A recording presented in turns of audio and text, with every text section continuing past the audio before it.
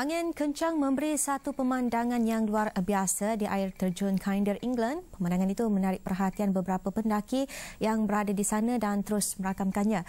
Video yang dimaknai Rod Kirkpatrick itu kini mencapai lebih 2.3 juta tontonan. Fenomena alam yang menakjubkan itu berlaku beberapa hari selepas uh, susulan uh, taufan Gonzalo yang uh, melanda negara itu dan Ireland pancuran air terjun berketinggian 29.8 meter itu akibat tiupan angin kuat. Pancuran air itu dapat dilihat sejauh beberapa kilometer. Air terjun Kinder adalah yang tertinggi di Big District.